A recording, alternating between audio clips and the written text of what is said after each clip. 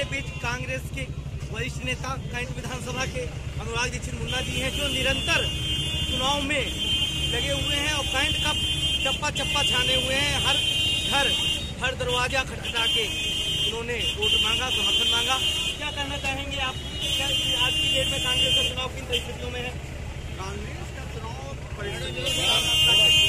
हमारी लड़ाई अपनी से बड़ी नहीं मैं हिंदुओं को पीछे छोड़ दूँगा हम विकास पे चुनाव लड़ रहे हैं हम जातिवाद पे चुनाव नहीं लड़ रहे हैं।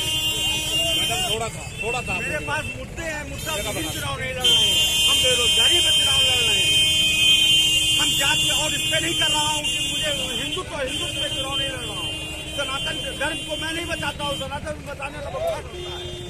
मैं उसको इंसानों के सनातन धर्म भगवान बचाएँगे भगवान ने मुझे बचाया है। मैं भगवान को धन्यवाद देता हूँ कि आज उन्होंने इस लायक बताया मैं भगवान के ऊपर कोई आरोप आरोप का कोई काम नहीं करना चाहता। अब बीती जग बीती न्यूज़ से रामजी त्रिपाठी लगता हूँ।